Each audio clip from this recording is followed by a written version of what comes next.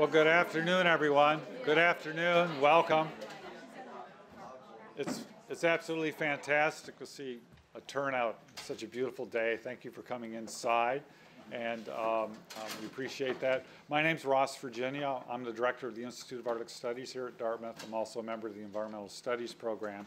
And today's uh, uh, lecture is sponsored by the Institute of Arctic Studies and the IGERT uh, seminar series on dialogues in polar science and society.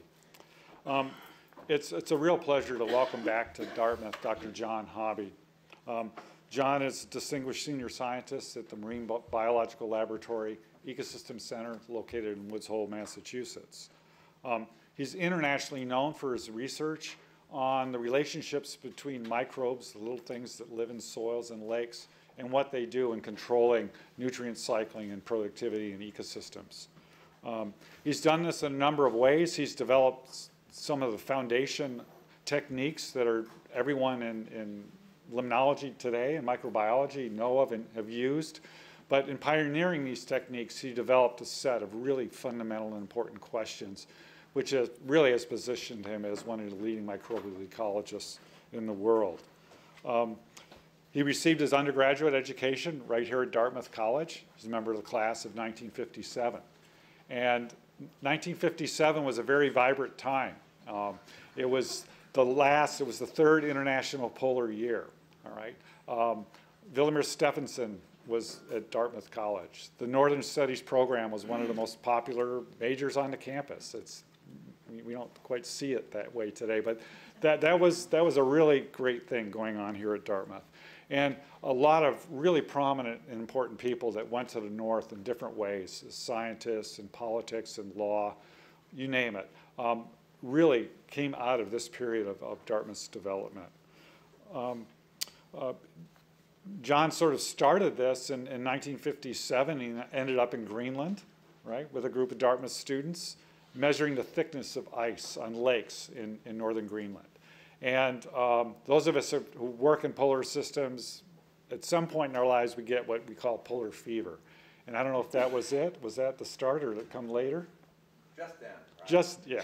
So John's had it for his entire career, obviously. He's gone on to spend most of his career trying to figure out how Arctic ecosystems work and how now they're responding to climate change. Um, he uh, started his work in Barrow, Alaska, but he quickly moved south a little bit to a place called Toolik Lake. And John really began to draw attention to this place scientifically from his research. And more and more people sort of came to Toolik Lake. And it's now really one of the best studied Arctic places in the world.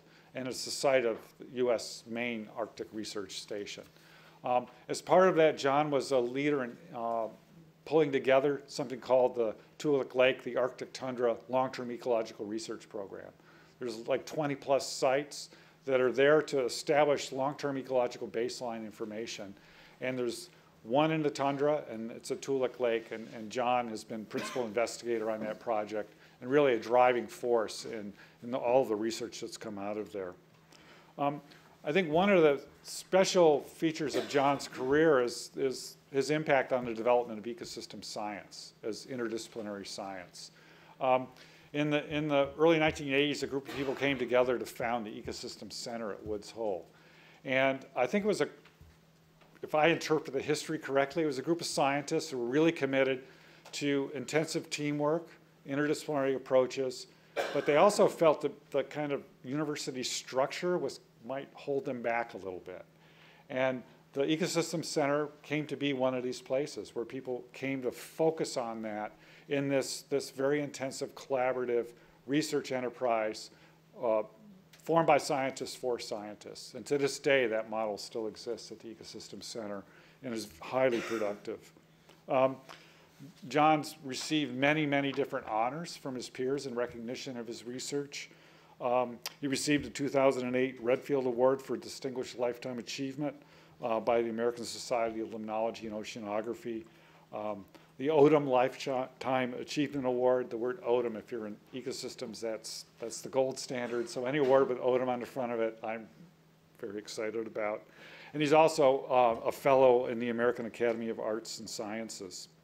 Um, John's worked throughout the world. It's not just the Arctic. He's worked in the Antarctic. He has a very strong research program in estuarine ecosystems. He's very interested in the coastal margin and, and microbial processes there and human impacts. Um, but shortly after finishing up his graduate work, he went from Dartmouth, he went on to Berkeley and then Indiana University.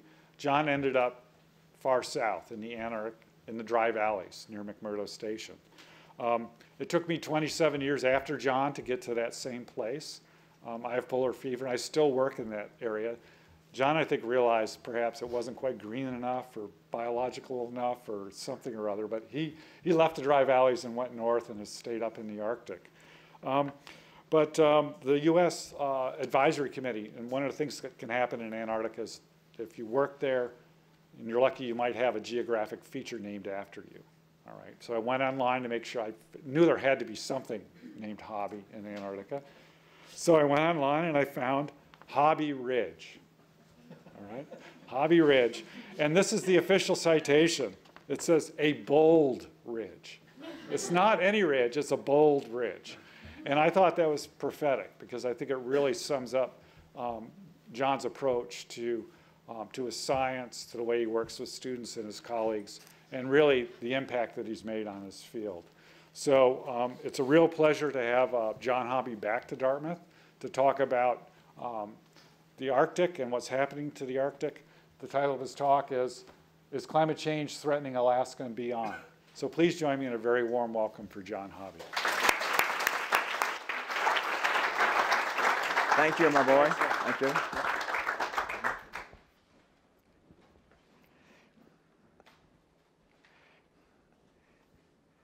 All right, let's make sure the sound's on. Are we happy? Uh, thank you very much, Ross, and the Dartmouth community here. Uh, the last time I got paid by Dartmouth to do anything, uh, 1958, and I was a graduate student at Berkeley, and there was the Dartmouth expedition and USGS, and they're going to um, Alaska where I could do some, some uh, thesis research. That was great. And they said, I was, let me say again, I was a graduate student. I had no money whatsoever. And Dartmouth, in their kindness, said, yes, and we'll pay you when you get back. so I, I, I, looked around for friends, and there was a, a, a, very attractive blonde who was also at the practice studio. I was taking cello, and she was a pianist. Uh, and she was a school teacher, just gotten a job, $3,900 a year. Boy, that was, that was money. And so I borrowed $250 from her, kept in touch, paid her back, and married her the next year. so that was a good anyway. I hope Dartmouth has, has evolved from. I'm going to tell you a little bit about the, the general some changes that have been going on in Alaska just as a result of, of the temperature change. And certainly there has been uh, temperature change. Here we see the annual temperature for, throughout the whole state and has gone up. Uh, it's gone up to, to this point, it's gone up um, two and a half degrees or so Fahrenheit. And uh, because this is a general talk, I've tried to make it Fahrenheit. And, uh, and the, the projection then, we see 5 to 13 Fahrenheit change increase by the end of the century. It's big. Now I point out Alaska here has areas of continuous permafrost up in the north, discontinuous and sporadic permafrost down here. And I'll tell you more than you want to hear about permafrost because that's a really important part of the picture. And here are some of the places I'm talking about. Prudhoe Bay, where the oil company is here. Uh, Barrow, um, at the tip. Fairbanks in the um, center of the state. Anchorage down here. And the Kenai Peninsula, this, this region here. Um, so I'm going to mention some of these, some of these places. And on the North Slope, where I've done most of my work, the uh, Barrow is up at the top, flat co coastal plain, foothills, the Brooks Range, the mountains here, and we have a town of Dead Horse where the, where the uh, oil, where the oil is at Prudhoe Bay, uh, and the pipeline sort of follows this Sagavanirktok River here, uh, all the way down to Fairbanks, and, and so we can drive there, which is the real important, important point, save lots of money. Uh, this part here is the Arctic National Wildlife Refuge, about this part here going on down, down south. And of course, they just celebrated its 50th, 50th year. You should get up there if you ever can. Fairbanks, frost-free days, um, increased by 50% over 100 years. Nice long record in, in uh, Fairbanks going back 1900. Certainly warming, but look at the variation from year to year. Number of frost-free days going, going up. Uh, very difficult to take an average if you just have short term. Here you can see a change over, over 100 years. But Snow cover at Barrow disappears two weeks earlier. Um, when I was doing a lot of work up there, we, we thought it was um, around the around the 15th of June, the snow cover, well, I, we, I, was there in the 70s, and, and now uh, snow cover disappears uh, as early as 24th May. So there is certainly a change. Again, a lot of variability. Uh, the ice is changing in the Arctic Ocean, and one of the big problems that the walrus has, in, instead of the young with their mother going out on the ice floes. Well, the ice floes are now tremendously far out, and the water is too deep out there for the walrus to eat and their bottom fauna. So, uh, so they are hauled out on the shores of northern Alaska. So that's a new, a new thing to happen. I don't know whether they're going to be able to um, survive like that because it's a long way to, to the nearest flow, to the nearest food sometimes. Um, there is a slight change in the commercial marine species uh, in the uh, Bering Sea, et cetera, um, that it's moving north, but they said it's uh, between 1982 2006, it's moved 19 miles, the center of some of these po populations. Caribou haven't really shown too much change yet. This is the porcupine caribou herd and um, in the Arctic National Wildlife Refuge. Uh, so this is um, when they are on the coastal plain, and this is the foothills. Here, here's a picture I took in uh, 1958. The herd was right there, and it circled this whole lake. And I always thought before I went, well, it's easy to estimate how many caribou are in a herd. You just sort of take this many and then see how many this many there are. And uh, so I don't know whether they're 10,000 or 30,000, but there are a lot of caribou there. And um, they would suddenly, a group of a 1,000 or so would suddenly decide to swim across this lake for no good reason, and one or two might die. Um, th this particular group, you can see I was just standing there. They, they were not afraid. A grizzly bear just walked through, had just gotten through walking through that. They sort of spread apart a little bit, and the grizzly bear just walked on through this, this midnight picture. The ice is changing.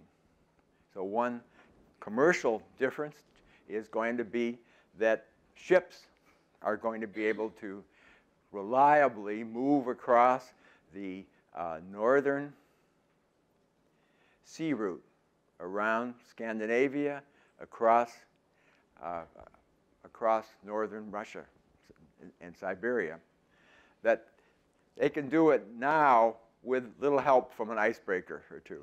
It's going to make a big difference um, if they can do it for, for a number of months. Well, on the North American side, there's a northeast pass, uh, excuse me, northwest passage uh, that starts over here, uh, going up past Greenland and Baffin Island, and then goes around a couple different routes around uh, big uh, Victoria Island here, and then around Alaska.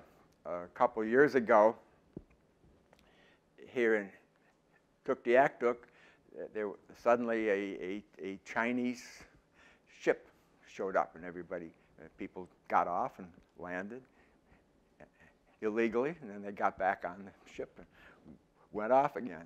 No one knows what they were doing there. Um, but that's not, the Northwest Passage is not really open, open yet, or for a number of, number of years. Here is the present, just go on the web, this is where the ice was in August, just, a month ago. Uh, which is, this is the time in August of the um, maximum drawback of the, of the ice. It, it completely uh, fills the Arctic Ocean um, rest of the year. In the summer, it draws back. Well, here is sort of the mean conditions from 1979 to, to 2000, and we see that there's been a lot of drawback already. And the um, commercial northern sea route, it was pretty well open all this time. However, the Northwest Passage here has still some blockage places. It's going to take a while, a while more. This is just the extent showing a continual decre- decrease in the, the extent. This is million square kilometers. And it, it's just going down, down, down. So it should be open uh, within, uh, uh, with, within a few years. There was an interesting way of thinking about it. So this is more geography, sociology, asking the question, if you are in a settlement in the Arctic in November, how long does it take you to get to, to the nearest, to the nearest settlement, closest, the closest settlement to you? And this could be walking on a, on a, cro- across a, a river, a snowmobile ride on a frozen river, or um, rail, permanent road, uh, shipping. So here is compared August, uh, excuse me, November in two years, November now versus November in 2045. The black areas is where you can't get there. you can't get to the nearest settlement at that time. At that time of year, um, the ice is, is hasn't frozen enough to to walk or um, and here there's, there's no move, movement out in the Arctic Ocean. So part of the places it's going to be darker even here. That means it's even more difficult. It takes many more hours. The hours here are listed between uh, one to three hours, and and uh, you, and you just can't get there. So this dark area is now is a lot smaller for the ocean part, but we see some places it's picked up. Maybe uh, the internal rivers are, are not frozen yet, so, so you're really isolated, and that would be this dark, dark places here. so, um, so these kind of changes are, are, are happen, happening. Some places it's good if you worry about transportation. Some places it's not so good. the, the warming, the change in Nature Climate Change, which is a journal. so I'd show you a couple pictures of ice. This is a, a uh, satellite, the MODIS satellite, in June of 2008. And I just labeled Barrow to show you where it is. And um, lots of lots of ice. It's not a just a beautiful white sheet. It's broken up. It's moving around. Um, is that the time of year for for for whales? I, I, I can't remember. June. Not not a whaling time. Um, here is farther along to the east, in the Arctic uh, coast, Arctic National Wildlife Re- Refuge, and I just think that th- these, uh, this is a very dynamic view of the ice movement out on the, in, in the shallow waters of the coast. And then we have the Arctic coastal plain, we have the Brooks Range here. Uh, and that was a time when, in fact, if you looked at, at, at, at, where the ice extent is, it would appear, oh, it should be lots of open water. Well, the wind was wrong, and, and obviously, if you're on a ship, you'd be in trouble right there. Glaciers are retreating in Alaska. They've been retreating for a long time.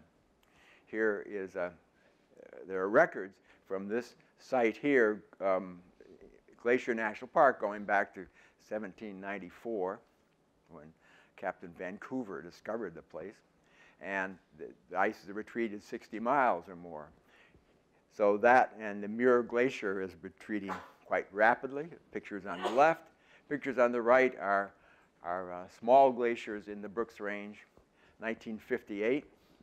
And that was the IGY year. There was a station up there. I actually landed on an airplane up, up on that glacier in 1958. And 2002, there's been a lot. By 2002, there's been a lot of pullback, glaciers retreating. Um, but not all Arctic glaciers are receding. And the contrast is between the total Arctic glacier volume here, which would include those other pictures, and then the Arctic glaciers in Europe that are actu actually increasing at this time.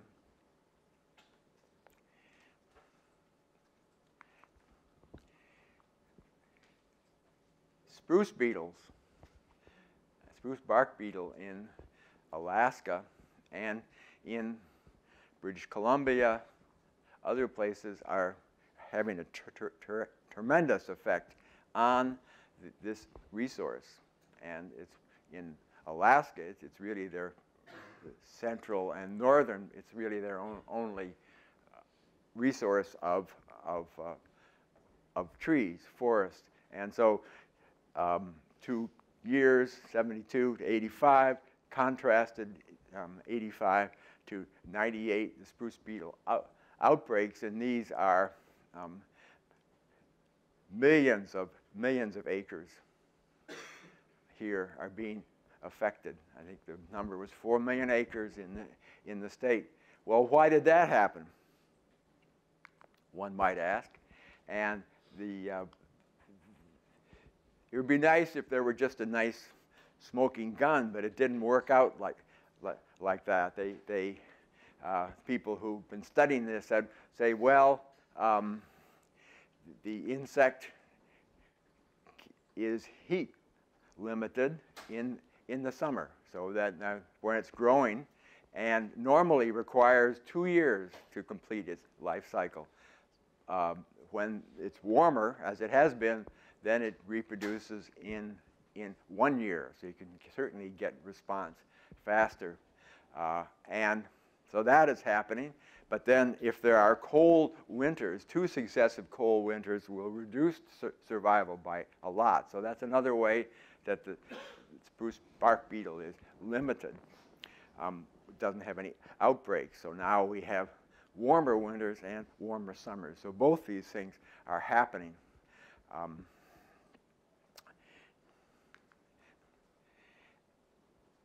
because of the, the ice has drawn back in, in the summer, then if there are coastal storms, then in fact there's, the storms and the waves have a lot more open water to build up, and they can have a tremendously bad effect on the coastal villages. And here, um, this dark line here is the open water, and we see in the recent years, 1980 on, there's been a large increase in the number of storms, some, these summer storms, when, when in fact they can be really um, destructive storms.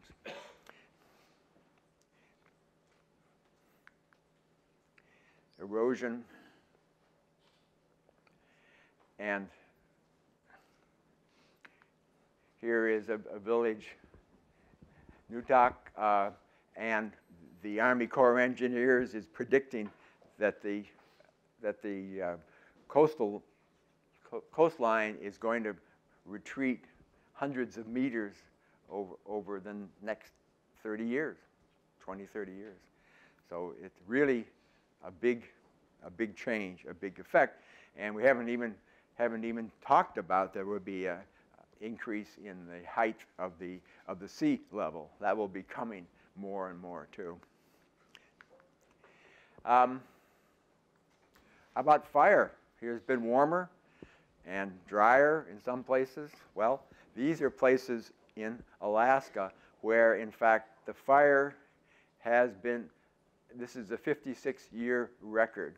And we see it's in the central part of Alaska, out to the Seward Peninsula here. But there's practically nothing in the, in the Arctic. Fire has not been a problem at all. And, but the area burned is projected to triple under moderate greenhouse gas e emissions. So not only is, is this uh, losing the, the resource, the, the, the forest, but also there's a tremendous public health problem of, uh, of, air, of air quality. I was in Fairbanks 2005. You couldn't see more than, more than about, about 200 feet. It was really, really thick there, and it went on and on and on um, for, a number, for a number of months. So that's going to happen even, even more. The Arctic didn't have any. We, we said, oh, it's too, it's, it's uh, too moist up there in the, in the tundra, and we don't have many lightning storms. Well, 2007, this happened. Uh, there was a, a dry spell, two or three or four weeks, and there were a number of lightning, and there was a, a lightning storm. And there, 30 miles away, there was a large fire. Well, here is the fire in 16th of July, and then we see uh, clear weather and two hours, three hours later, it clouded up. the, the smoke blew this way, and in September, it was, it was burning here. These are wimpy little fires, though. It could, couldn't even jump a river at all um, because the, the canopy, the forest there is, is a, a foot high. But there's a lot of, don't forget, there's a lot of carbon in the soil, tremendous amounts. And by 30th September, the fire was still burning. These white dots are frozen lakes. So the, um, it wasn't until the snow happened in, in early October that we finally got uh, put, the, put the fire out. Well, here was an opportunity to study this. There was so much burn, so intense burn on the soil.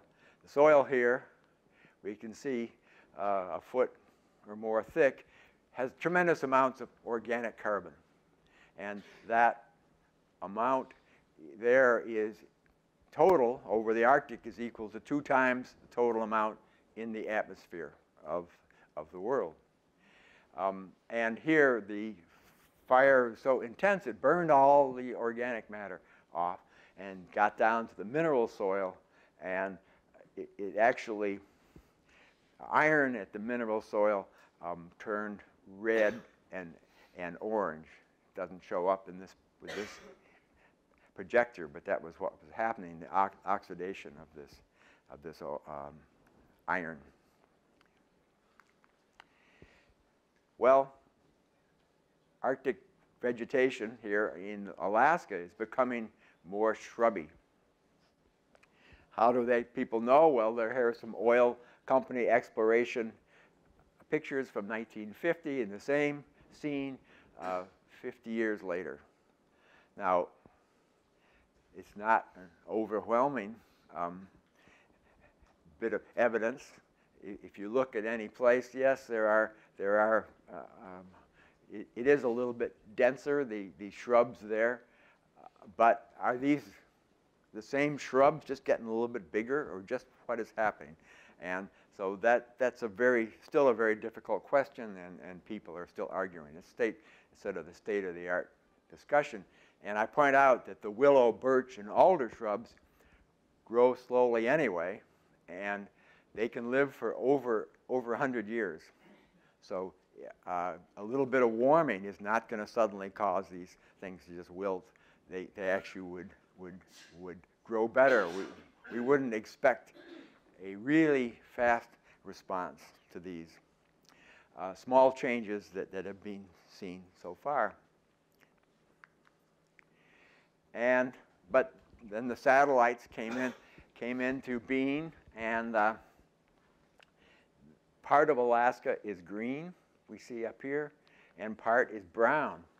So th this is a cumulative, uh, it's actually showing what's happened with a greenness index that they can measure from a satellite. And we see up in this part, in fact, it's greener. It really is greener. Um, and here, it's, it's browner because of all the, all the fire and the drought that's been going on. So, um, so, so what has been measured really is the amount of reflectance of different wavelengths, and they put that into a formula and come out with a biomass. We can cali calibrate how many grams of carbon there are on a, on a meter squared. So it, it's a, it, it is a, a uh, integrating measurement. And of course, from satellite, you're not just measuring uh, a square meter, you're measuring many, many more square meters. So that's happening and going to continue.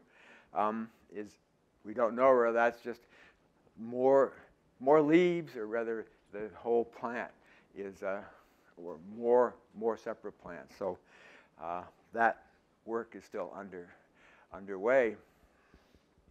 Here's a picture of alders growing on the north slope. Isn't that a great picture? What it is, is polygonally patterned ground. And these are, the, we call these polygons, these little places where ponds have formed. There's a little bit of raised uh, outline. And that is because of permafrost, and that is because of a little height difference there, just a, a centimeter or two, that allows this shrub to grow. This is a nitrogen fishing, fixing shrub anyway, so it gets a big, a big uh, a big kick because it can, it can organize its own nitrogen. So I haven't mentioned permafrost yet, and yet it is the most important part of the whole of the whole picture here. So now we're going to have more. Then you want to know about permafrost, frozen ground. That's simple. It isn't. Uh, it can be ice. It can be a gravel pile, um, sand can be dry, and 22% of North America is underlain by permafrost. It's frozen ground under there. And um, here's where all this soil, is, the uh, carbon is. I mentioned the big number here, um, 1,600 uh, petagrams, and that's what a petagram is, which is a billion metric tons. It's a big number, and that's about two times the total amount in the atmospheric pool, the carbon. So don't want that to get uh, warm and decompose and go off the CO2. That would be bad. So what controls all this?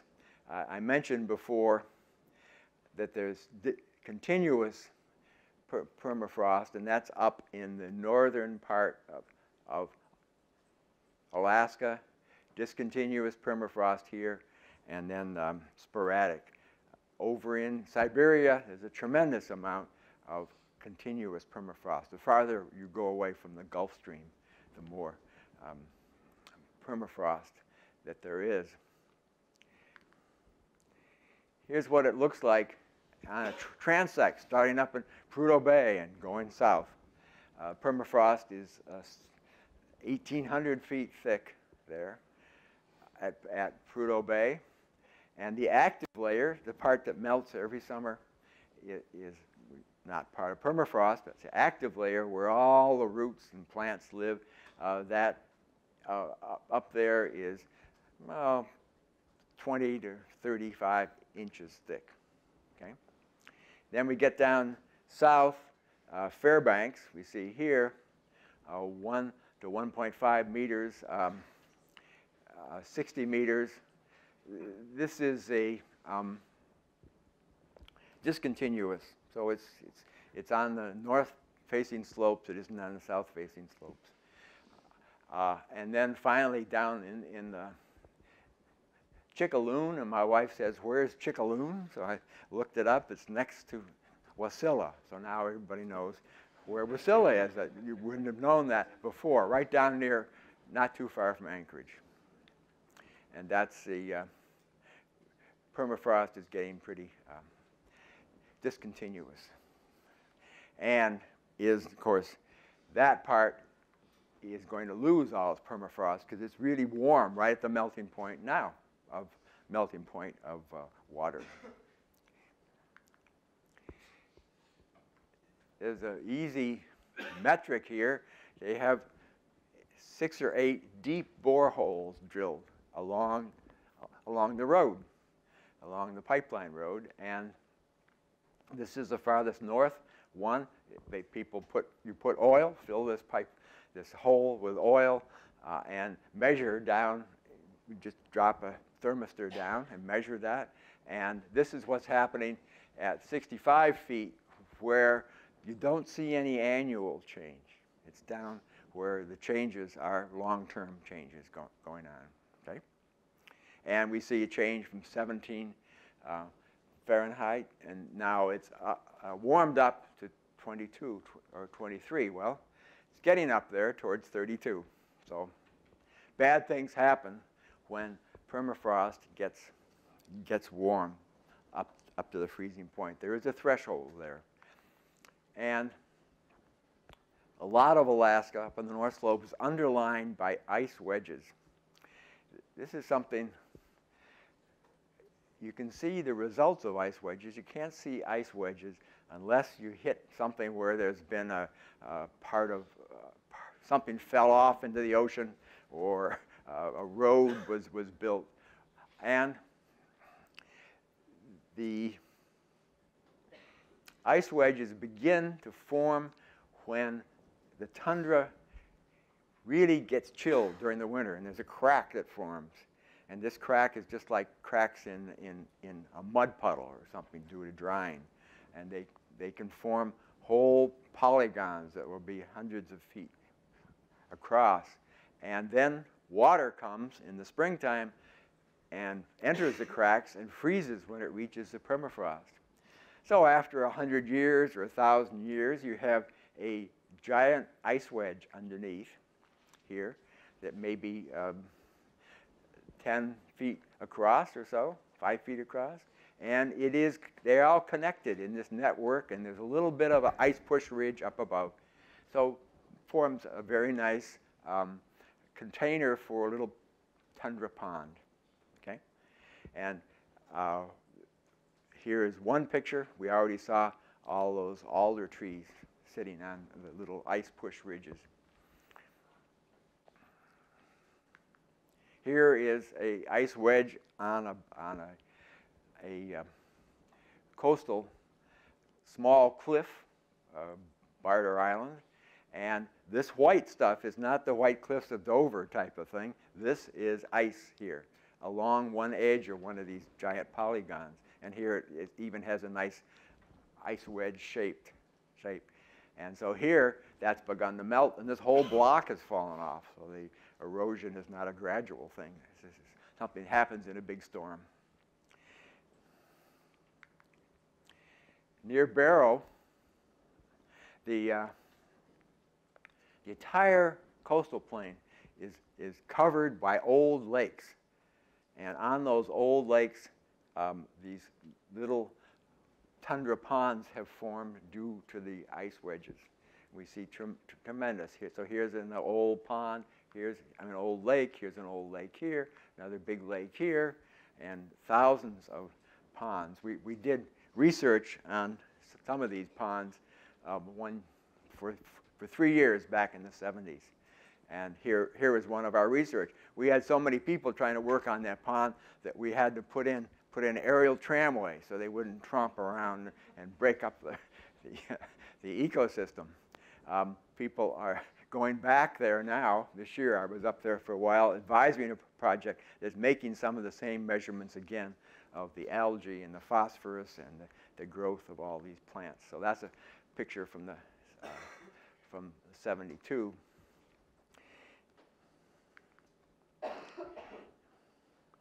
This part up here is the active layer, 31 inches, where the roots, plant roots, can grow.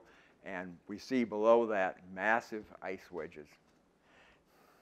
So the problem comes when, when the ice wedges melt and the whole system collapses. And we, we see here is a picture of, of a person sitting, standing in here, hidden. And uh, the, you see collapse of, of a boreal forest, probably in, in Siberia. In Fairbanks, giant, melted out uh, just, just along the road.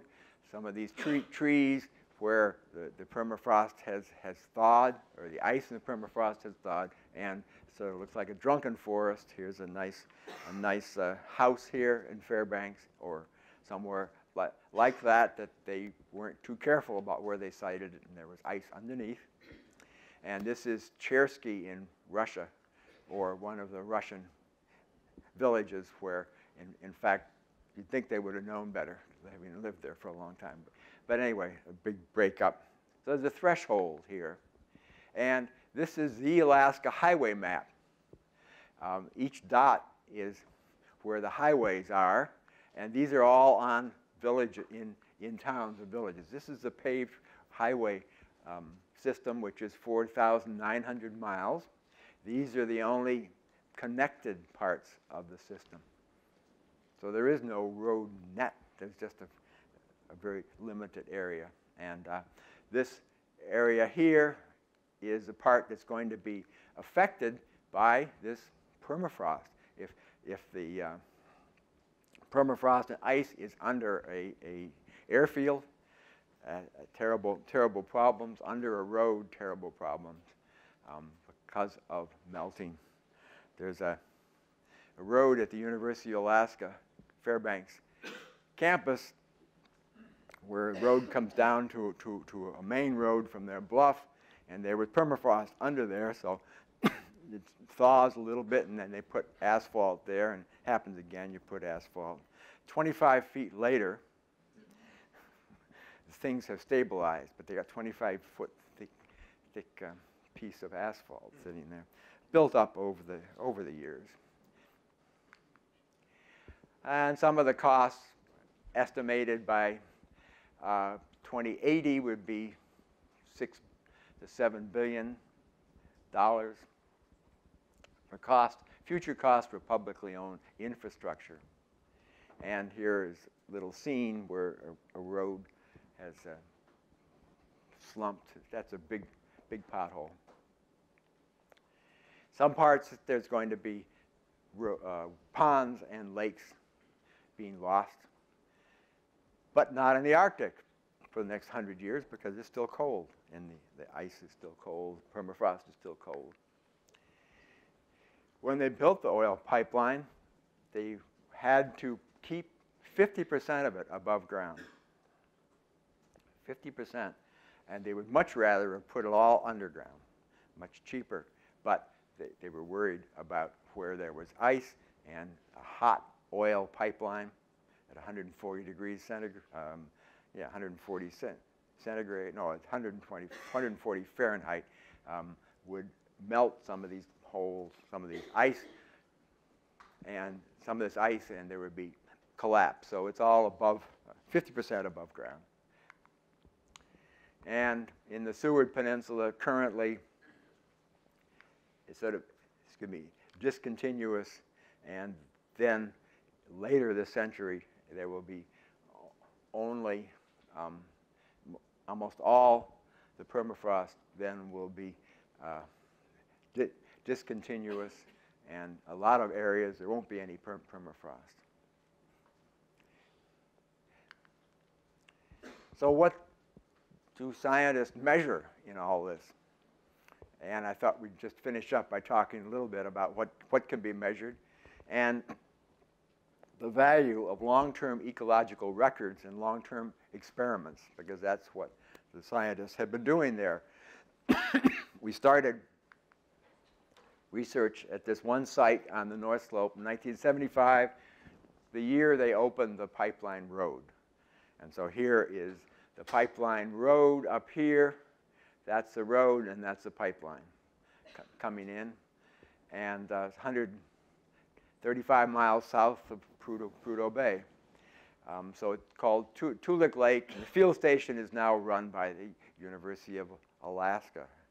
Uh, we have up to 100 scientists there at one time, and the people change and come in for a week. Come people, people come in for the summer. So there's a lot of um, different projects there. Our long-term ecological project is one, just one of these now, used to be the, the, the main one. Um, we have a, a, website. If you want to find out what the temperature is right now, today, just go to the website and, and uh, find out that uh, this, this, is dates here, uh, about six or seven days worth, and um, temperature um, last Friday or something like that was, was uh, right, up, right up at freezing Not, and had some cold time. Here, uh, lake temperature dropping, dropping, dropping. lake probably froze um, again last week, and then solar radiation, et cetera. And here's the ad address. You can go and look at data till you're blue in the face. But with all this high tech and um, websites and everything, we haven't been able to demonstrate that the air, temperature has changed in this, in this place. It certainly is changing from year to year to year, but to uh, try to figure out whether this is um, a trend or not, you need a lot more data. Our 25 years is just not enough so that would be a direct measurement and certainly is what we would expect to have happen over longer periods of time in all the climate models.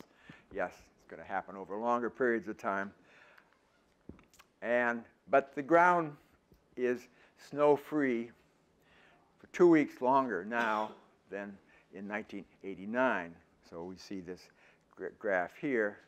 Yes, the growing season length is, is, is longer. That's one thing certainly uh, we can count on that's happening. And one change that we can't argue with is an integrating change, and that is a chemical change in the water, in the stream water and in, in the lake water. It, it's a change in the alkalinity of the water. And we are, in my opinion, this is a good proxy for increased permafrost thaw. Well, what that means is just at the bottom of the active layer, top of the permafrost, the permafrost there is, is in glacial till. It's been frozen there for 10,000 years, that glacial, um, uh, that, that, that till, and it has a lot of carbonates in the, in the soil.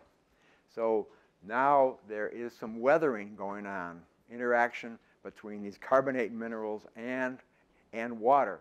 And so the alkalinity, which is mainly carbonate, is showing up in the, in the soil water. We don't know whether it's where it's happening. Is it happening just in the top few millimeters of the, of the former permafrost, or is it under underneath some stream places? We, we, we just don't know yet, but there's also some stable isotope changes. So, um, and the, this amount of change is not anything that's going to affect plants or animals. It, it's a proxy of what is happening in the soil. So we have evidence of increased permafrost uh, thaw, but when we try to measure the thaw depth, go out there twice a year and measure a thousand points, well, it's a mess. It varies from year to year to year. There isn't any yet any, any, any change, except up at Barrow, where it's a lot colder, the, these numbers um, would, would be down, down deeper. The, the, uh, there's less thaw there at Barrow. Okay? Um, set up a, a grid of, of uh, posts where had, had measured exactly where they were. And every six years, go out and do a, a uh, survey looking at a single square meter here next to each one of these posts. And these posts, they have 109 of these posts. Tremendously detailed work, and they measure here the shrubs, the grasses, the mosses, lichens, forbs. Um, it's, it's, called a, a, a point frame, and they put down little sticks and see where one, one of these actually hits a plant. So they're looking at the same grid every six years. And here in, uh, from the one from our Toolik site, it in fact is getting more and shrubby, shrubbier and shrubbier, higher and higher biomass um, over, over time of the shrubs. Grasses, well, as things are fall, here was an in, increase and now a decrease. Um, mosses are, are way down. So we have records here from 1990, 96, 2002, 2008. Tremendous laborious work of trying to figure out what's happening. Where is this change happening? And what are the implications for the, for the future? Long-term record, here's nitrate in, the, in our nearby river. And we see a big change from two, excuse me, 2002, 2005, uh, 2005 is the blue. That concentrations are higher than they were back in back in the 70s and the uh, and the 90s. So we have records like that. We don't know why this change is happening. It certainly is happening, and it's a very important one, runoff of nutrients. Finally, we actually go out there and change the environment. We do experiments with these systems. And what do we change? Well, here we're changing nutrients, temperature. These little greenhouses are for changing temperature. They come down in the fall. The dark ones, that's shading light. That's 50% of the light taken off. Um, change the pH, put, put um, little wire fences there to keep out the caribou and the mice and everything that's eating the tundra and do the similar changes with lakes and streams, uh, added nutrients to take away fish. We begin to get an idea of the processes that are controlling these systems. Why aren't there more fish? Why aren't there more um, uh, plants? Why isn't there better plant growth? We can test a lot of this. And here is, for example, one of these greenhouses. And on, on the left, we see the birch in the warming and fertilized experiment. Those birch used to be one, feet high, one foot high, and now they're about four feet high. Uh, and in that's warming plus fertilizer. Fertilizer. They're actually up, up, uh, up, up six feet high. And in just the warming alone experiment on, on the right, they aren't up that high. They're only up two and a half or three feet. They've responded probably through the microbes breaking down more organic matter in the soil, providing more nitrogen. So that's the kind of experiments that we can do. And certainly tundra does respond. Here is the birch responding uh, without any heating. And the birch responds so well that, in fact, pretty soon, after a number of years, started out in 82, they have grown so much that they've completely shaded out everything else in the plot. So that's the experiment sort of ends. And do experiments, weeding, leaving only certain species. How do the species interact? And in streams, there's been a drip of phosphoric acid in this river um, since 1982, and the river the, was dominated by sort of a little bit of um, diatom growth on rocks. That's what makes rocks slippery if you're trying to walk, it, walk in the river. And here, the mosses have taken over.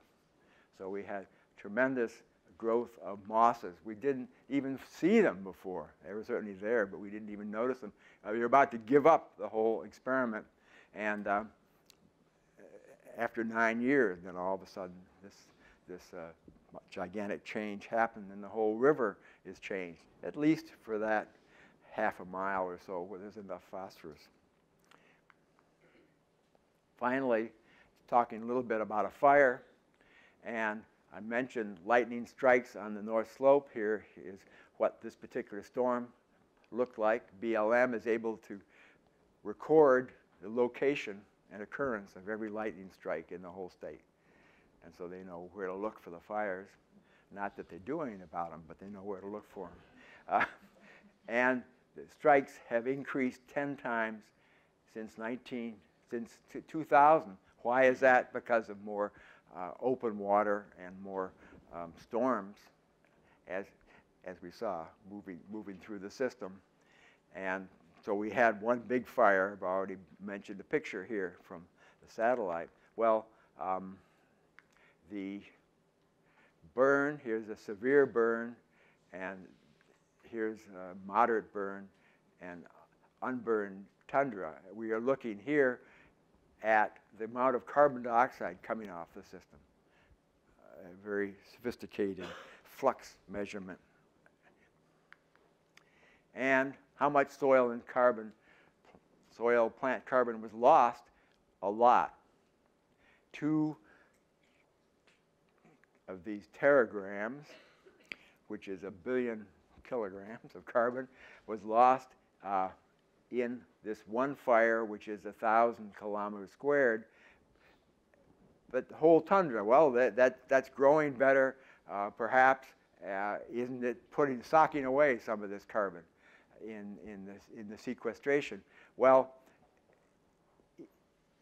that complete uh, change here of more carbon was for this whole big river basin was only 0.2 of these teragrams.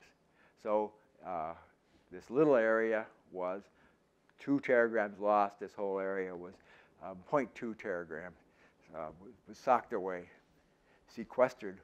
Well, so it, it's a very important process for changing the tundra, and it's happening faster and faster and faster, we think. Finally, the interactions here, this doesn't just happen at Toolik Lake or this region and the ocean, we, we see more melting of the sea ice and more radiation is absorbed. The uh, ocean is, is warmed and more melting of sea ice. So it's a nice uh, feedback here. Uh, on the land, the higher the vegetation grows faster, more shrubs, more radiation absorbed, earlier snowmelt, and we see, again, positive feedback. All this Arctic warming goes faster and faster, and the global warming um, also is a part of, of, the whole, of the whole here, but it's probably happening faster in the Arctic than any other place. Just to summarize some of these things going to happen in the future, ocean ice, 50 years, ice-free Arctic Ocean. Northwest Passage and Northern Sea Route will be open. Climate and continue to moderate. Growing season lengthens. Precipitation increased by 38%. Maybe. That's the most doubtful um, projection there. It's very difficult to get. The models don't even get the present precipitation right. And uh, here we're talking about what's happening at the end of the century. Fire, more frequency, we think. Permafrost dis disappears for most of Alaska, but it's stable on the, on the north slope. And uh, we mentioned the damage, road and airfield, but not on the north slope. Uh, more erosion and thermophrost, coastal erosion, much as 200 meters over the next century. And lakes and ponds, some will disappear. Vegetation, better grass and sedge growth, but dwarf birch and alder will spread. Caribou don't seem to like dwarf birch, so that might be a, a there's a lot of resin in these leaves and branches, so that could be bad. Uh, fish, some are, are not going to survive, it's too warm. Large mammals, uh, more roads, development, and more hunters and other disturbance. Takeaway message is just three points here. Changes are very slow in the Arctic. Despite warming air temperatures, plants are long-lived. Changes will occur species abundance and not by species replacement. There's no sign of that. Permafrost, tremendously important in shaping the ecology of the tundra. It affects the drainage.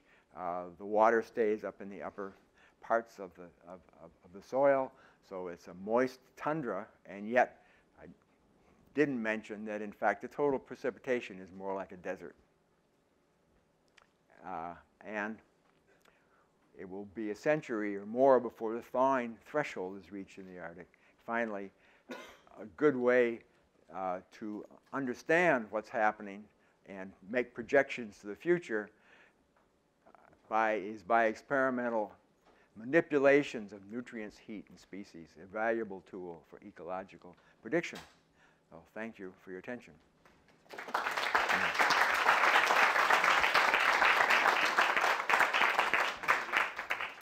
have time for a few questions, and we're recording this, so please uh, use one of our microphones here if you have a question to ask.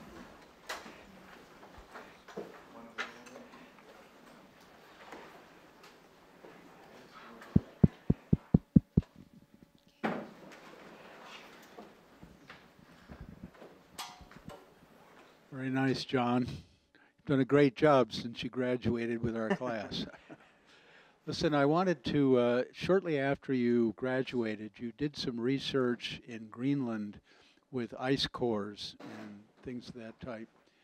Did you end up um, identifying any other serious climatic changes in the past that uh, were of this type of magnitude in terms of duration and intensity? Well, I, our type of research that we're doing could not answer that question. We, we were more interested in, in um, lakes. That this was the this was a Cold War, so we were working out of out of Thule. We wanted to know if those fighters and, and bombers with atomic bombs could actually land on an Arctic lake as, as an emergency landing strip. So that was Dartmouth's contribution. and the answer was no, it's just, it's still too rough. but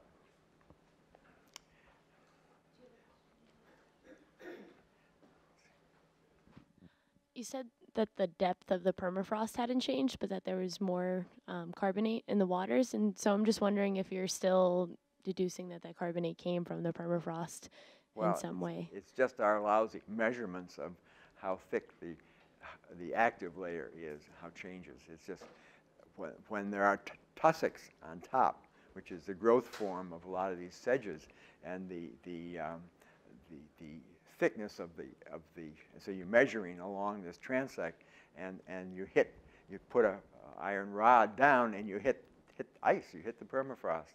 And so then you're going along and it's that way, and then you're under a tussock and bang, tussock has insulated things. And then next to it, or maybe next to it, it's back down, or something else happened. There was a, a, a snow, a little snow bank there. So it's just so variable trying to get good data, find data on, on that kind of measurement. So, so it's our so it's our measurement, not whether or not it's happening. So that's why the chemistry was a more of an integrating um, measurement. It measured something happening over a much larger area.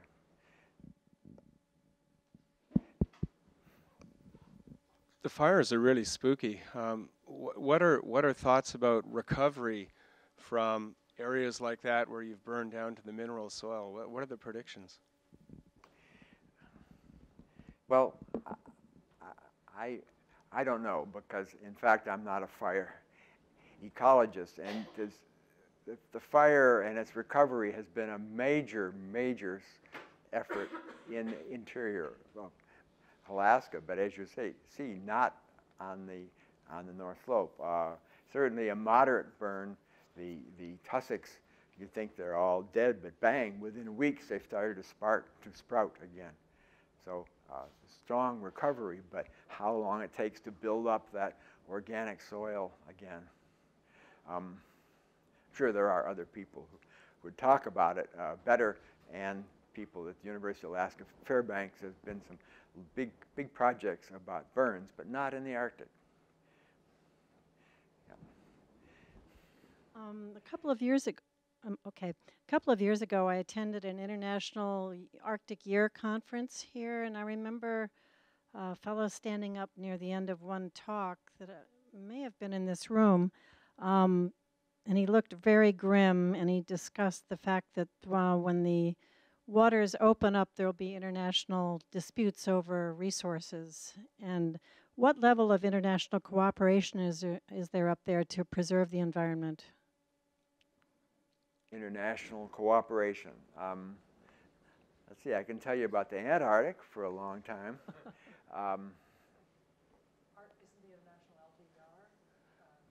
well, th- that's, but as far as anything across governments, um, there's certainly cooperation of, of, of uh, scientists and projects sharing data, but um, right now, the, the argument, because the U.S. never signed the law of the sea, right? So the, the next step, I think, is that other, other countries are making their claims, and there was a limit of when they had to end making claims, and that's already passed now, and the U.S. still has, has, has not signed the law of the sea. Why have they not signed it? Um, we don't sign treaties. environmental tre- treaties. I, I, I,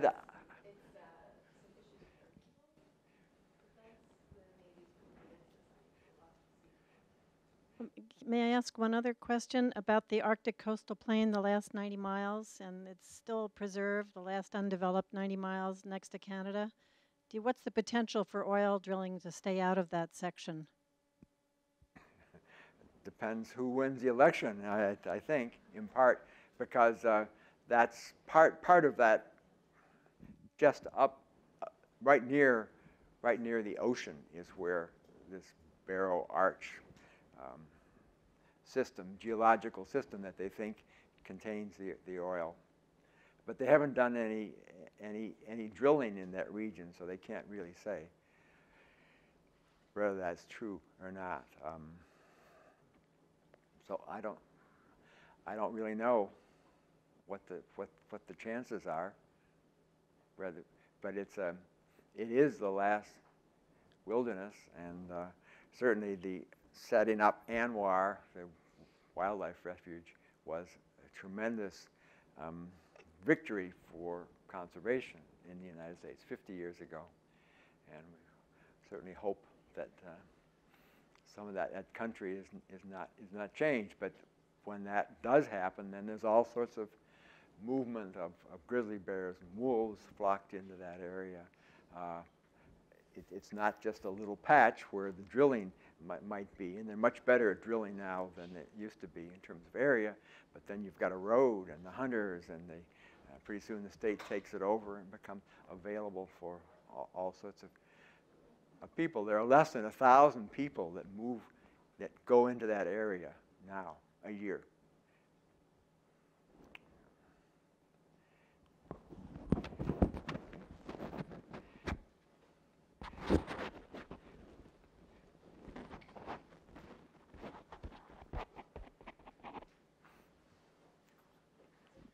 Um, do you have any uh, favorite possible explanations for the increasing nitrates in the streams? Well, yeah, it's a good question. And, uh, I said we didn't know, but uh, atmospheric deposition is not a question up there. There is practically none. And uh, so, so, it's, so it's not, not atmospheric deposition. Um, the, the soil is warmer, and, and, and we see that when we warm the soil, we do get more um, nitrogen available, but as shown by the growth of these nitrogen-limited shrubs. So that sort of logic would say the nitrogen cycle is being enhanced. Things are happening faster. That's a question for you to do research. Well, I, I I think that, that John is a great example of valuable liberal education, at least the way that it's for. Oh, right. With all this has been accomplished, we're gonna claim much of it. I think it's Berkeley.